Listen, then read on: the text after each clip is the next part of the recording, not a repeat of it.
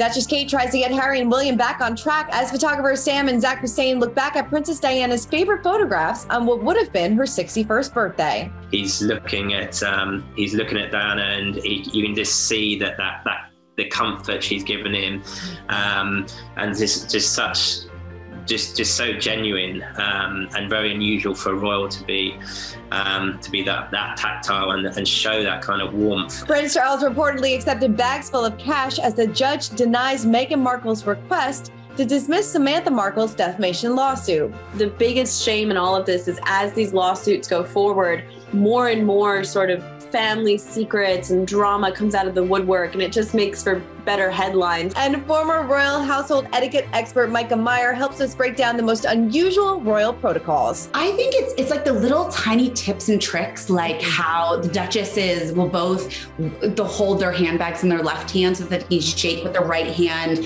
getting in and out of car correctly, um, you know, ascending or descending a staircase. It's those little tiny little tips that you don't even realize until suddenly you learn it and then you see it every time. And you're like, I know this. We've got that plus so much more in today's Royally Us. Hello to our fellow royal lovers and welcome to Royally Us. I'm Christina. That's Christine, and welcome to another big week of royal news. Queen Elizabeth stepped out not once but twice in Scotland so far, so we got we have a lot to get to.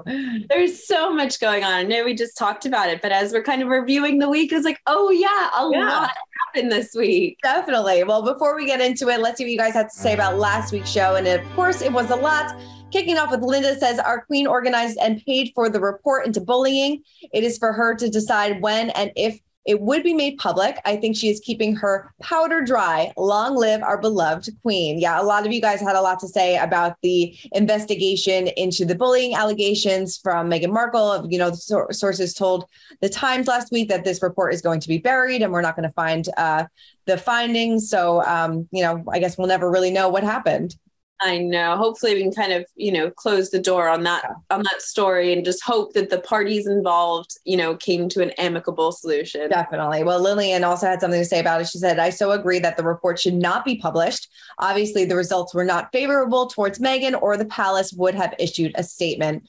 I guess, well, you know, they did say that they were trying to keep the peace with mm-hmm. Harry and Meghan. So this is just their way of maybe like, all right, we're shutting, like you said, shutting the door, moving on, and we're not going to talk about this anymore. Exactly. I think there's so much speculation. And I know we said last week that you could read into the into the verbiage, you know, you can mm-hmm. really pick that apart. But again, I think they're trying to like close the door, walk away. yeah, move definitely. On. Move on. And Ernie says it's so disappointing that the two brothers couldn't get together for Lilibet's birthday. On top of that, their children would have had the chance to meet their cousins for the first time ever too bad. Well, hopefully, um, you know, maybe in the future, maybe they'll all get together. Who knows if they have Zoom calls together? Um, but you know, we're going to get into more about this later. How Kate is trying to make the peace between the brothers. So hopefully, there's a light at the end of this tunnel. But I don't know. all right, all right. Well, let's get into our royal roundup. And like we said, the Queen is in Scotland. The 96 year old monarch traveled by royal train to Edinburgh and appeared for the historic ceremony of the keys with Prince Andrew and his wife. Now, during the ceremony, the monarch handed the keys of the city of Edinburgh and welcomed um, and welcome to your ancient and hereditary kingdom of Scotland. Um, of course, again on Tuesday morning, she um, attended the Army, the Royal Navy, and the Royal Air Force, where they paid tribute to the Queen as the head of the armed forces with a big parade and royal salute in the grounds of the Palace of Holyrood House. I love saying that Holyrood House. So fancy. Um, she's been met. She was met serving military personnel and cadets before being presented with the keys to Edinburgh Castle. It is so great to see her out and about. This has been her first public appearance since the Platinum Jubilee, and she seems to be um, in great spirits. She was wearing the Scottish color of heather, um, so she looks and she looks fantastic she did it was so nice. It just felt so normal to see yeah. her in her you know her coats and her big hats mm-hmm. um, at these very royal events that she would normally attend. I think it was a lot of us were sort of missing that consistency that we get from the queen. You know the events that she does every year that we can look forward to and this is one of them. Um, the week up at Holyrood House is is you know an annual celebration especially up in scotland. I think it's you know when she's up at Balmoral, they don't really see her publicly, but when she's at mm-hmm. Holyrood House, um, it's more more of a sort of public, um, you know, an opportunity for the people of Scotland to see her, I should say. Yeah, definitely. And there's some more events going on this week. There will be a garden party attended by Prince Charles, um, an investiture ceremony of Scottish people, um, and she will also hold an audience with the First Minister of Scotland. So it's unsure of how many more events um, she will be attending, but it's great to see her two days in a row looking fabulous. And, uh, you know, she's still walking with the cane, so, so she still has those mobility issues, but it doesn't seem to be holding her back this week. I know. And again, I think it's the, what they're doing, what the palace is doing is they're not announcing the uh, events that the queen will attend or right. not announcing her attendance. And it almost makes it better for us because if she canceled, we'd be really worried and disappointed. But being surprised by her presence, it's it's more of a pleasant, you know, experience. Definitely, I love it. All right, well, this is uh, this was a pleasant experience and some really fun photos. So back in November, Kate visited the Pride Training Academy, and we are getting our first look at these pictures. So during her time, she was with the 101 Operational Sustainment Brigade at Abingdon Airfield to learn about how new recruits are serving personnel are trained. She shared on Instagram today on Armed Forces Day. William and I would like to pay tribute to the brave men and women past and present, serving in all of our armed forces at sea, on land, and in the air here in the UK and around the world. Thank you for all you thank you for all you and your family sacrifice to keep us safe. I love how she went like full top gun on this. I love it. I know I love this. You know, the royal family has such a strong relationship with the military and most members of the royal family have either served in the military or they're sort of you know have an official rank in a, within a military branch or organization and so i think this is an inkling or a hint that we might see um, a role like that coming kate's way soon yeah. which i know a lot of people are really excited about I love this so much. And I love all the photos. She looks like she's having the best time ever. It does look, so she always looks like she has so much fun when yeah. she's kind of out in the countryside, you know, getting a bit dirty and really like getting into it. I love it so much. Well, um, Kate and Prince William's first official joint portrait has also been revealed.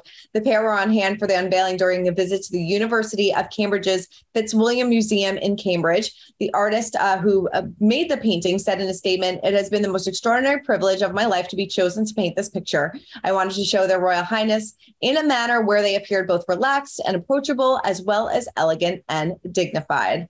So, what did you think of this? I um I was really privileged. I obviously live in Cambridge, yeah. so oh, that's right. I got to see videos. I meant to. you were there on hand. You got up close and personal to Kate. I did. I've had a busy week. I tell uh-huh. you that. But um, I did this past weekend go to the museum to the mm-hmm. portrait. Mm-hmm. Um, it's beautiful. It's so well done. I think you have to see it in person because, especially where they've placed it in the museum, it sort of glows. It has this yeah. really ethereal lighting to it. And it does have a very relatable, a relaxed, approachable feel to it. And what I absolutely loved is how busy um, the the area was. I mean, there's nothing else in this area except for this portrait. Um, and it was just it was hard for me to get a picture of it because there were so many people and not just some people going up to see it but they were standing there for like five, ten minutes, you know, or I would leave and come back and I'm like, oh my gosh, that woman's still there. um, I mean, it's really captivating. I think people were really excited to see it. I love that. And what was it like getting up close to the Duchess? Uh, it, that was um, very exciting. It was it was madness, and it was so interesting to see these royal engagements sort of uh, in real time and the way that they sort of move through these events was was was fascinating to see because they sort of move with a horde of people around them. Yeah. Uh, but my favorite part, and we'll sort of talk about this later towards the end, was seeing people after they had met the Duke and Duchess of Cambridge and just how everyone was so honored and they just lit up and it was just it was really powerful to see the effect that they had on people. Oh definitely. I love that so much so much fun. And i know that they had such a great time while in cambridge. You know kate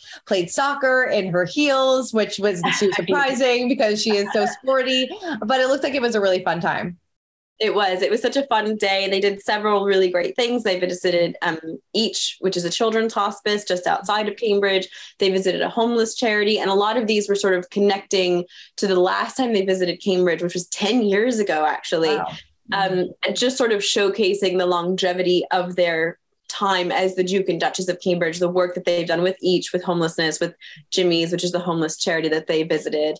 Um, I, I, felt like it, especially since all of this started with that official portrait, which is a gift to the people of Cambridge. Um, I, it was such an interesting series of, of, events. Yeah, definitely. I love that so much. All right. Well, let's move on to Prince Charles because he addressed the shame of Britain's role in slavery in the opening speech at the Commonwealth Heads of Government meeting in Rwanda. So the Prince of Wales expressed his personal sorrow over slavery as he urged that we find new ways to acknowledge our past. Take a look at this. I cannot describe the depths of my personal sorrow at the suffering of so many as I continue to deepen my own understanding of slavery's enduring impact. Um, so he also used his speech to reiterate the longstanding position that is up to members of the states if they want to move toward becoming a republic or and drop the queen as head of state, which we've kind of seen on numerous uh, tours throughout the last few months. Yeah, this has been really interesting. I remember when William and Kate came back from their Caribbean tour and we were sort of saying, well, what is anything going to change? Like, what's it going to look like? This is a good example of things looking different, you know, following that feedback. Mm-hmm. And I think the Prince of Wales said in this speech that, you know, for years and years, we've seen um, different states and Commonwealth nations um, changing their role within the Commonwealth and changing that relationship. But he said, sort of, he's learned over the last 50 plus years that those relationships can change, but still stay um, beneficial for everybody. Yeah. I thought it was really interesting. This is really a marked development in how the royal family is going to address those issues of the past, you know, the colonialism, the the racism that sort of has infiltrated their history. I thought it was really interesting to see this kind of, oh, this is a direct result of that conversation in the Caribbean. Definitely. And speaking of Caribbean, Prince William did um, open up about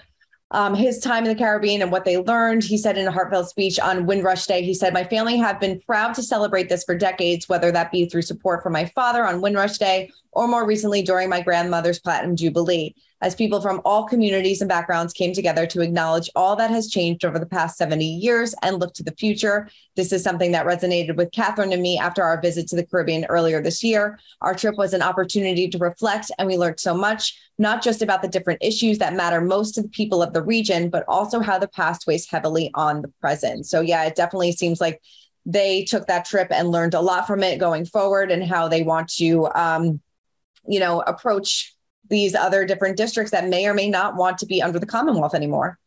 Right. And it's, it, I, I know we talked about it just weeks ago after the tour. We said it's going to be interesting to see what changes and develops. And I think, again, this is just an example of them sort of making those changes and developments and sort of saying, whatever comes next, you know, I think that they're open to it. You know, they I think they just want to keep the relationships healthy and yeah. beneficial for both countries. Definitely. Well, speaking of relationships, uh, trying to stay healthy, let's spill some royalty and talk about William uh, and Harry and Kate because it seems like she's doing her best to get the brothers back on track. A source tells us that there's a small glimpse of hope of saving the brothers from never speaking again, and that is Kate. She can sense that despite everything that has happened, William still feels the loss of Harry. She's been frantically trying to play peacemaker, but so far her efforts have proved unsuccessful. An insider tells us that she had a quiet word with the boys separately, even going as far as calling Harry and Montecito and suggesting that he reach out to William on his birthday. The issue is William and Harry are both overly stubborn, so there's not much hope. I feel like we get this um, you know, kind of information every few months that the brothers are just not on good terms still. Other people say they are. I don't think we'll ever really know what's going on between them, but you know, you hope for the sake of family that these two uh, do get back on track and hopefully Kate can be that mediator. Right. You do just want them. I think so many of us just want them to sort of work it out and be on better terms and you know, uh, because we've seen how close they were in the past and how, you know, important that relationship was to both of them. So it's hard to see them sort of, you know, in, in a fractured relationship now. Definitely. Yeah. Well, uh, a relationship uh, between siblings that definitely won't be getting back on track is Meghan Markle and her half sister, Samantha Markle.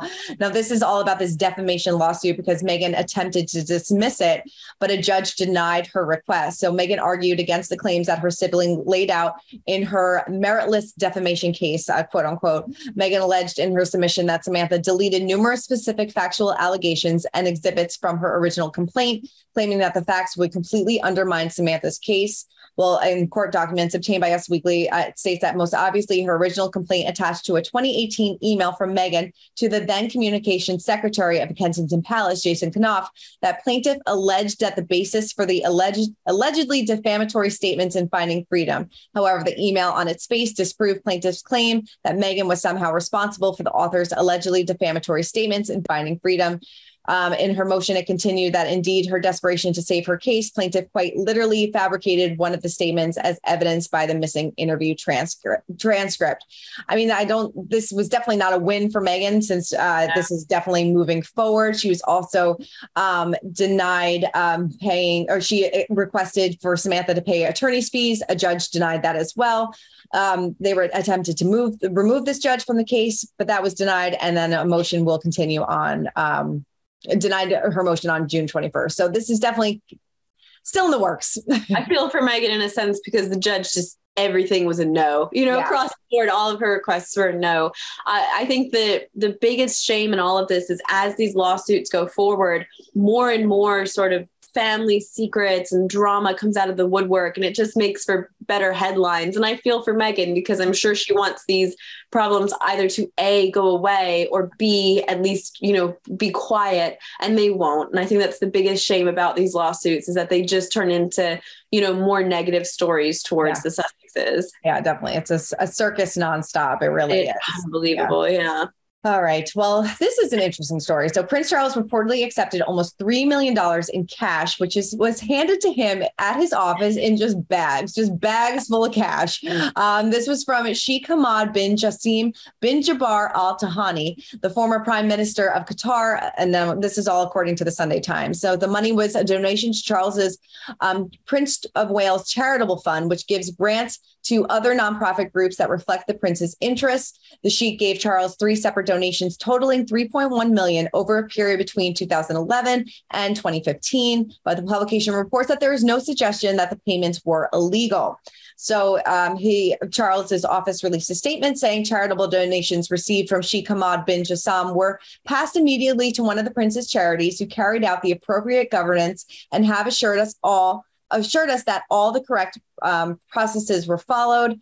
Now, um, he faces the possibility of an investigation by the Charity Commission, the governing body of the charity world of Britain. They said, We are aware of reports about donations received by the Prince of Wales's charitable foundation. We will review the information to determine whether this is any role for the commission in this matter.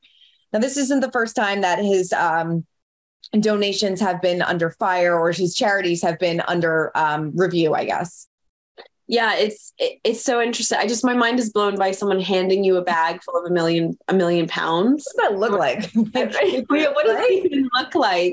Um, but i think that uh, charities are so strictly governed especially in the uk um, there's strict protocols lots and lots of rules and that and hoops that you have to jump through just to make sure that everything is above board and to leave no room for mishandling.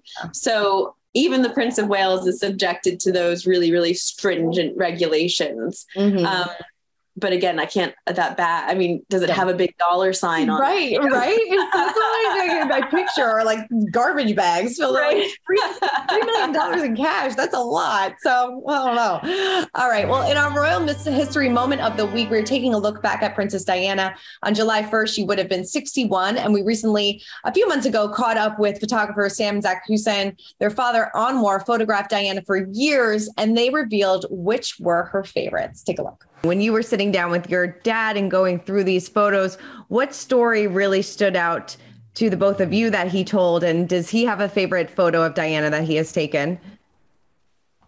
I think, uh, well, there was so many. What was interesting about it is we were going through this huge archive of pictures, and we were, you know, we were very young for, for a lot of um, that we were surrounded by these pictures, but you know we were we were still quite young when Diana was first on the scene and um, sort of the early years. So there's a lot that we didn't didn't really know. So we discovered so many amazing pictures. I remember finding some pictures that were in the exhibition of, of Diana in Japan, and I had no idea she'd gone to Japan and just trying on all this traditional dress, all this traditional clothing in Japan. I thought, wow, this is amazing. So that was just, that was really fun. Um, but we also found out, yeah, obviously a lot about what my dad experienced. I mean, we've spoken to him a lot over the years, but this we heard a lot more. Um, and I think one thing that stood out for him, which is um, I think his favorite picture, and also um, what Diana's favorite picture was a picture he took in um, Pakistan, um, where she is cradling a a blind boy, I think it is, um, in in Lahore at one of the hospitals there. Um, and even though the boy's, um, I think he's blind, he might have even been deaf as well, but you can just see he's he's he's looking at um, he's looking at Diana, and he, you can just see that that that the comfort she's given him, um, and just just such just just so genuine um, and very unusual for a royal to be um, to be that that tactile and, and show that kind of warmth. Um, so I think, and and that's just a lovely picture, and I think that's something that really resonates with him. And that was just fascinating hearing about hearing about that and also that it was you know diana's favorite as well. I love catching up with the royal photographers. They have such a, an amazing insight and um, you know the, they've they witness history on a daily basis. They really do they really, it's amazing. I love listening to that. The stories that they all tell are just always fascinating. So fascinating. All right. Well, speaking of things that are fascinating, it is time to break down the royal rules. And joining us this week is former royal household etiquette expert Myka Meier, who is going to break down the most unusual royal protocols. Take a look. What is the the one thing that everybody wants to learn when they come to you? They're like, what's the one thing that like really stands out and screams, this is royal life? I think it's it's like the little tiny tips and tricks, like mm-hmm. how the duchesses will both they'll hold their handbags in their left hand so that you shake with the right hand, getting in and out of car correctly, um, you know, ascending or descending a staircase. It's those little tiny little tips that you don't even realize until suddenly you learn it and then you see it every time. You're like, I know this. Yeah. I'm sitting, of course, I created the term the Duchess slant, mm-hmm. which is, you know, one of my terms I use in all my courses, and just learning these little tips and techniques that make you feel and look polished mm-hmm. and knowing that you can do it and that you can use these at home. You don't have to be in a palace to use them. Definitely. What's the most unusual um, royal protocol, would you say? I would say the most unusual. Um, you know, I think, oh gosh, there's there's so many. I would say, you know, I think when you come in, okay, here's one. When you're dining, if you're dining with the queen, for instance, when she puts down her spoon or fork, everyone should also follow suit. So that's one that if you didn't know that, if you didn't have the training, you would think, what is going down? What is everybody finished so fast? And the butlers are pulling away our trays and our, our, our, you know, our plates. And so that's one I always think is quite fun that I teach my royal etiquette class. I love that. Is it true that the royal family, the women cannot wear stock or have to wear stockings, correct? And like nude fingernails, uh, paint no colors and things like that?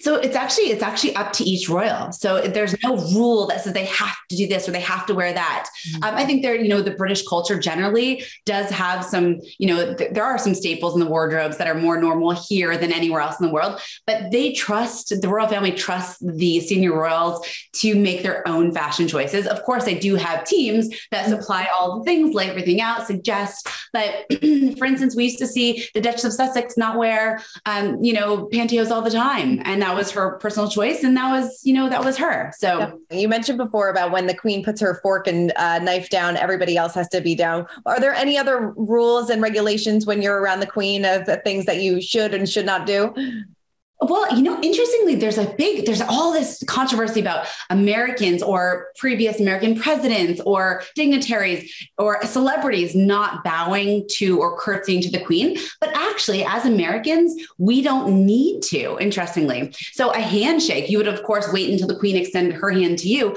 but they don't, she doesn't require or expect a mm-hmm. curtsy or a bow. As Americans, we don't do that in our culture. Now, if you're a British celebrity or British politician, then a bow and a curtsy would be more, um, you know, ex- more probably expected socially as a protocol.